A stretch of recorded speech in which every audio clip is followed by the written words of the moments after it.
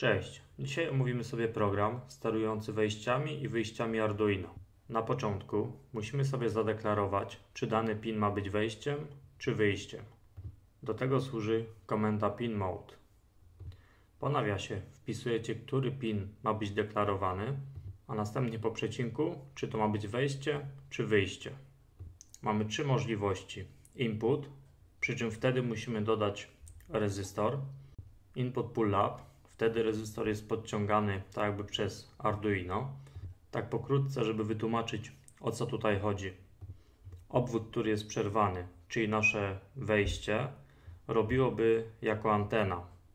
Generowałoby bardzo duże szumy i na wejściu mogłyby się pojawiać tak zwane śmieci.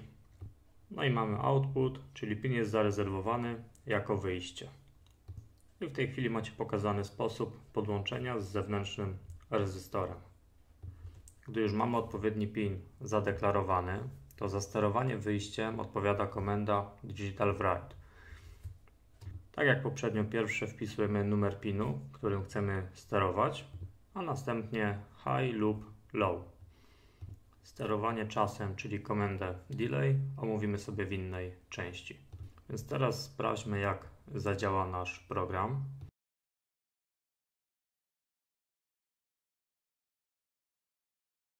Po wgraniu programu dioda nam się zaświeciła. I teraz analogicznie mamy użyty parametr low, więc dioda nam zgaśnie.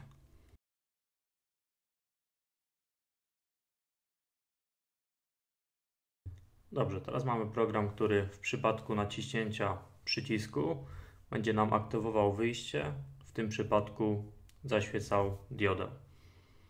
I od góry deklarujemy sobie pin 15 jako wyjście, pin 15 jako wejście. I ja mam zastosowany rezystor, więc nie używam komendy pull up. O warunku if powiemy sobie w innym odcinku, a widzicie tutaj, że czytamy pin 14. Jeżeli pin 14 jest równy prawdzie, czyli true, no to daje nam na wyjściu 1, czyli prawdę.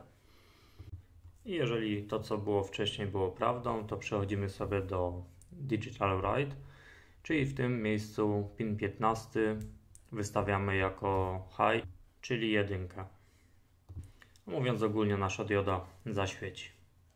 A gdyby pin 14 był false, czyli zerem, no to wtedy przejdzie nam do else, no i będziemy mieli warunek digital write 15 low, czyli wystaw stan niski na wyjściu.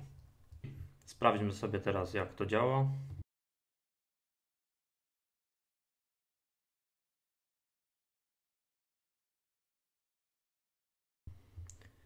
Zasubskrybuj kanał, jeżeli Ciebie również interesuje technologia, jak i automatyka.